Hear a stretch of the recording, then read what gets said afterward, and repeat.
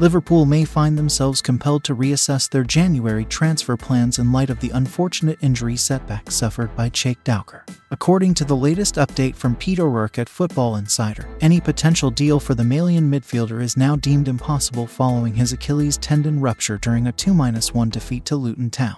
The 23 year old had previously been strongly linked with a move to Anfield during the summer transfer window, but Liverpool ultimately opted for Stuttgart's Wataru Endo instead. The question arises would Liverpool have reconsidered Doucoure in the winter transfer window? This appears highly unlikely, and it's not a reflection on Doucoure's abilities. However, given the unfortunate turn of events and the injury setback, it seems improbable that Liverpool's recruitment team would actively pursue his signature during the winter window. Despite Doucoure's versatility, an adaptation to a different role than he played in France. The exceptional performance of Alexis Mac Allister at the start of the season reinforces Jurgen Klopp's confidence in the current squad. Mac Allister, occupying the number 10 role, has proven to be more than just a temporary solution until a dedicated number 6 becomes available.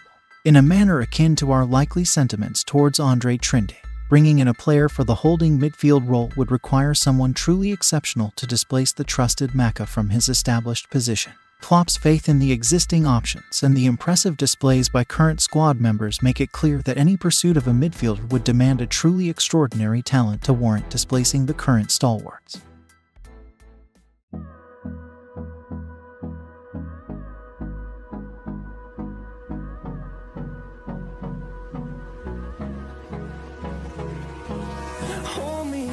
Till I get up.